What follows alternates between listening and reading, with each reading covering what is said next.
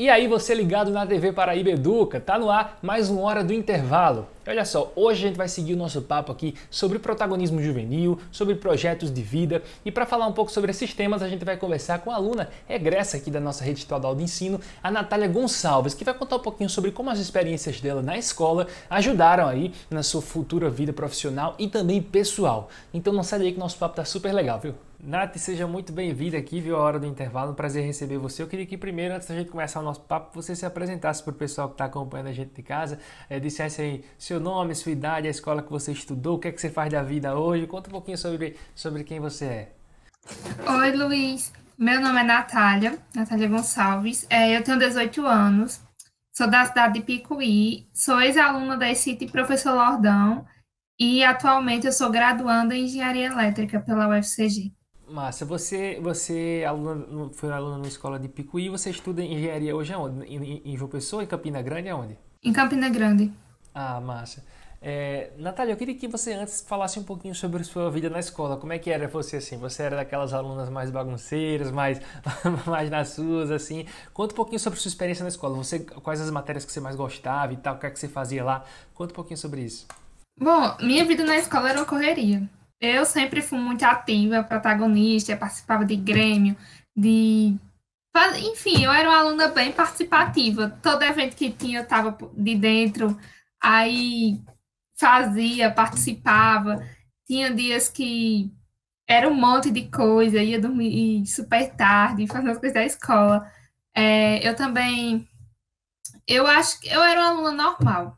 Eu. Eu tirava boas notas é, sentava na fila do meio, da, na frente meio, e também é, interagir com meus colegas, isso é essencial. A gente vive no SI, é, eu estava no SI, interagir um pouco também, nos horários que não tinha aula, e isso era muito bom, porque ajudava a manter o foco também. Era muito bom. A gente sabe assim, é, Natália, aqui na, na, nas escolas da rede estadual existem muitos projetos, muitos, muitos programas que os alunos podem participar e tal. Eu queria saber quais você participava, assim, o que é que você gostava mais de, de, dos projetos que, que a rede estadual disponibilizava. Conta um pouquinho sobre suas experiências nesses projetos. Ah, eu gostava muito do Se Liga no Enem. Eu também participei de Giramundo, passei em primeiro lugar, só que por, acaso passei para a Espanha na época, só que minha mãe não deixou eu ir, enfim. É, deixa eu ver, eu gostava, eu gostava muito. Se liga no Enem, eu acho que foi um dos que eu, do que eu mais gostei, porque eu podia participar de concursos, interagir, me via motivada, motivada. É, o Giramundo também, eu gostava muito de fazer o cursinho lá. Entendi. E, e, com relação a, a Natália, assim, ao, ao, projeto de vida, a disciplina de projeto de vida, queria que você falasse um pouquinho sobre como é que eram as reuniões, como é que eram, que aconteciam as aulas e tal, o que é que você gostava mais, o que é que você aprendeu durante esse, esse período? Bom, na disciplina do projeto de vida, é, eu aprendi a, a questão da inteligência emocional, a ter mais controle sobre as minhas emoções, a saber lidar com certas situações que aconteciam, que no mundo que a gente vive é normal. É, aprendi, a, é, aprendi mais sobre a empatia, sobre coleguismo, sobre, sobre tudo. Projeto de vida, para mim, não é uma disciplina, para mim é uma coisa para a vida, projeto de vida. Porque além da gente pro, projetar as nossas ações futuras no nosso projeto de vida, a gente também conseguia relacionar nossas ações futuras com a vi nossa vida familiar, com nossos colegas, com a nossa vida que a gente vive. Projeto de vida, eu acho que era é a vida que a gente vive, é o nosso projeto de vida. Cada um tem o seu, só que a gente tenta melhorar cada dia com as nossas metas. Entendo. E, e com, como é que o projeto de vida auxiliou também assim no seu futuro profissional, na sua escolha, na sua decisão, né? Queria que você falasse como é que você é, é, decidiu que queria se tornar engenheiro, que queria cursar esse curso. Como é que surgiu essa vontade assim na sua vida? Assim, é, eu sempre fui, é, eu sempre gostei muito da área de matemática, física, química, biologia. Eu também é, sou da área de humanas, não vou negar, também sou da área de humanas. Sou um pouco de linguagens, mas a minha paixão são as exatas e as, bio, e as biológicas. É, eu decidi ser engenheira porque eu gosto de criar coisas, eu sou muito curiosa. Eu sou muito curiosa e eu gosto de inventar, criar, consertar, é, toda aquela coisa que só a engenharia podia me proporcionar. E o projeto de vida me ajudou a definir bem, porque quando eu acho que eu estava no segundo ano, acho que foi 2018, é, eu tinha dúvida entre qual engenharia eu ia cursar, e aquilo eu tive o direcionamento. Eu disse, não, é, eu vou querer engenharia elétrica e vai ser engenharia elétrica. E isso eu persisti até, até conseguir. Mas, como eu disse, eu também era da área de humanas, e eu também fiquei em dúvida entre engenharia elétrica e direito. Só que no meu coração dizia é engenharia elétrica. Só que no SISU ponto 2 eu coloquei direito na UEPB de Campina, passei. Só que eu fiquei em engenharia elétrica, porque é a minha paixão. Massa demais. Então tudo que você queria fazer, você passava, né? Mas, mas... Isso é ruim, porque a gente fica muito em dúvida. Ah, meu Deus. Só que a gente tem que ter aquela... Você ficava... Ô, Natália, me diz uma coisa. Você, você morava em Picuí, não é isso? Aí você teve que se mudar para Campina Grande para cursar o curso? Ou...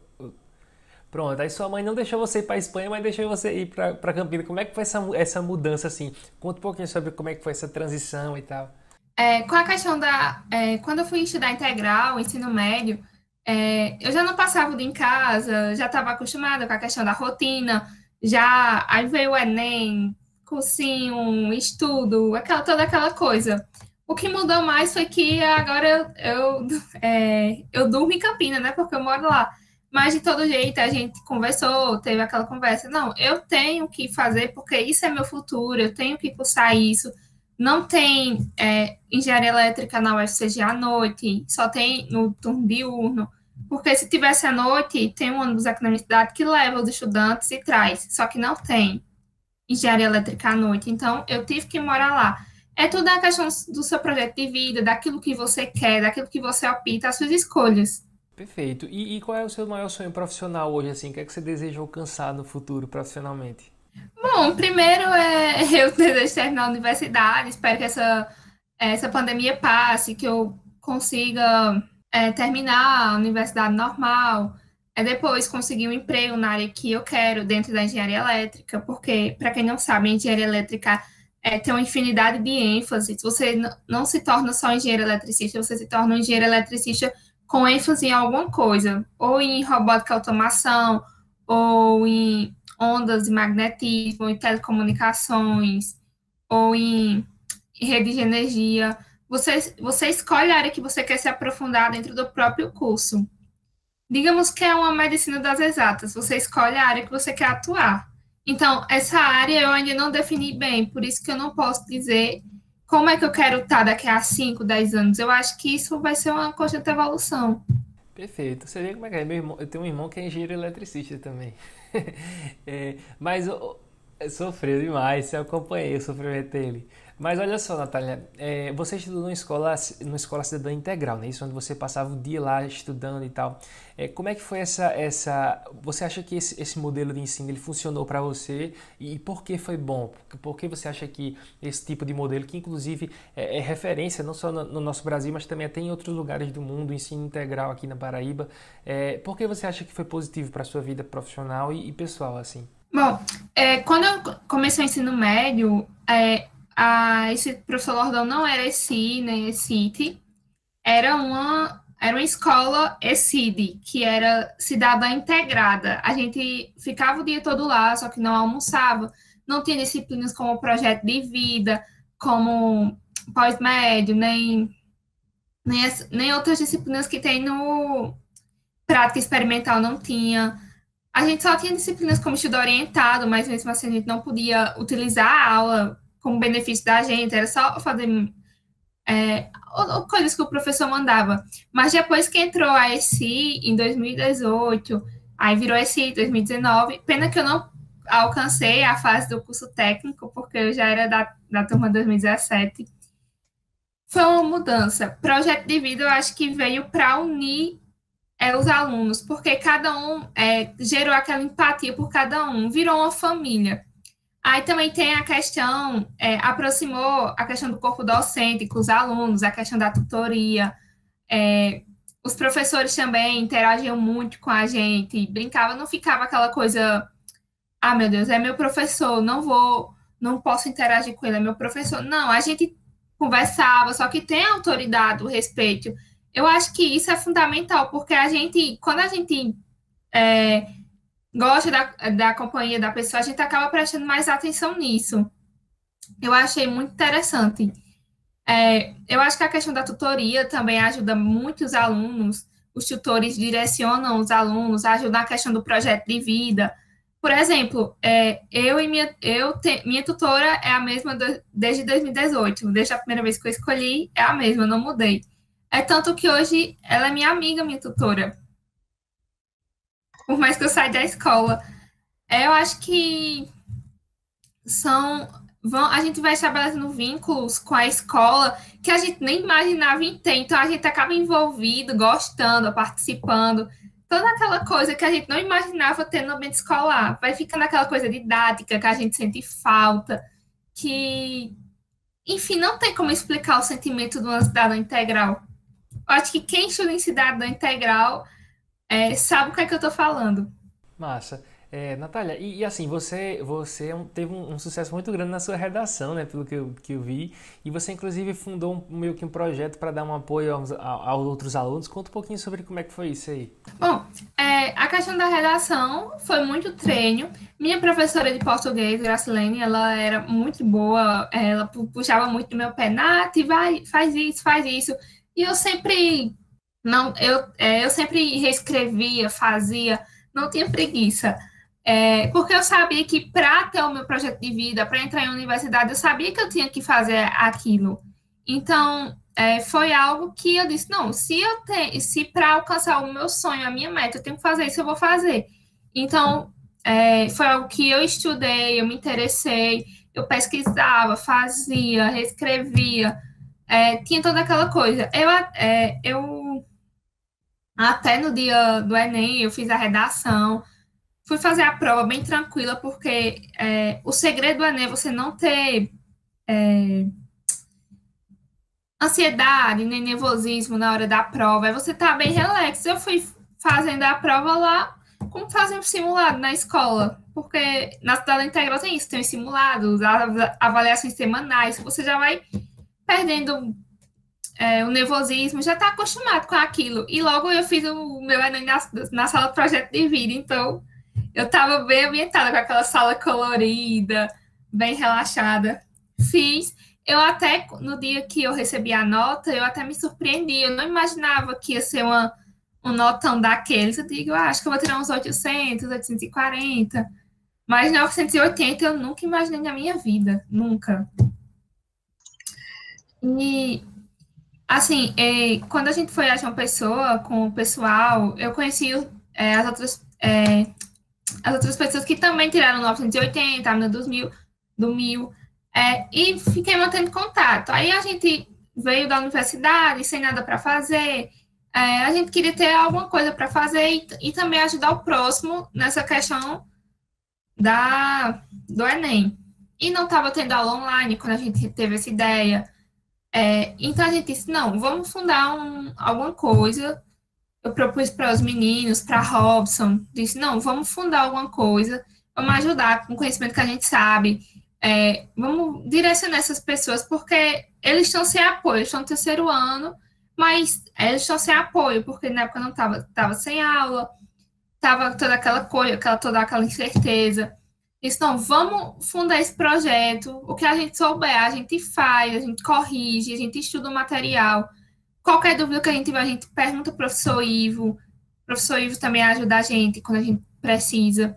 Mas hoje em dia a gente já é, a gente é praticamente corretores de Enem. A gente já corrige tanta redação.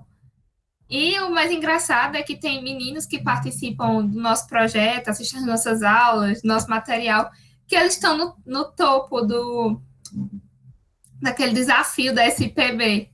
960, mil. E a gente fica muito feliz com isso, porque é nosso esforço, principalmente o esforço deles. E a gente vê que a gente está tendo uma parcela de contribuição na vida daquelas pessoas. Perfeito. Para finalizar o nosso papo, Natália, eu queria que você falasse um pouquinho sobre, é, passando sua mensagem para todos os estudantes que estão acompanhando a gente aí agora, é, dissesse para eles por que é, participar proje do, do, projeto de vida, participar de ações de protagonismo juvenil são importantes, foram importantes para a sua vida e, e por que eles deveriam buscar fazer isso também. Bom, o protagonismo, ele gera autonomia. Quando você é, se torna uma pessoa autônoma, você sempre vai querer participar de alguma coisa, sempre vai querer estar envolvido, sempre vai querer estar tá fazendo alguma coisa de útil na sua vida. Então, quando você está na escola, envolvido com protagonismo, você vai querer ser um, um bom líder, você vai querer ser um bom vice-líder, se for o caso, ou ajudar a sua turma de qualquer forma, você vai querer tomar a frente de algo. Protagonismo é importante por isso. Então, como protagonista, eu resolvi tomar as rédeas do meu futuro, do meu projeto de vida. Então, o, é, a disciplina do projeto de vida, ela me ajudou nisso. Projeto de vida me ajudou a definir o que eu queria, a lidar com as emoções, a ser a obter inteligência emocional. E o pós-médio veio só para confirmar isso. Pós-médio, é, quem ainda não está no terceiro ano, vocês não veem mais projeto de vida, vocês veem pós-médio.